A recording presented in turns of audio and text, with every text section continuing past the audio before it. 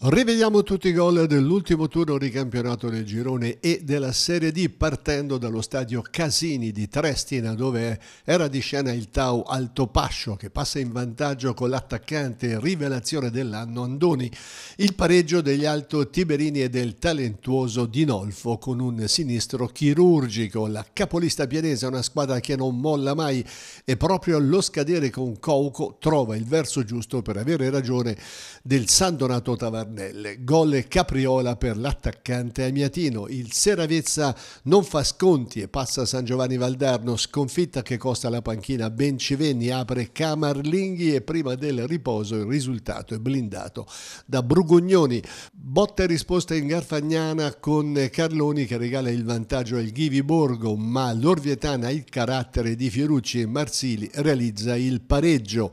Colpo del Gavorrano a Figline, Masini spinge in mare in mani ma Torrini di testa pareggia per i Valdarnesi, Talla Suaré chiude i giochi a inizio ripresa.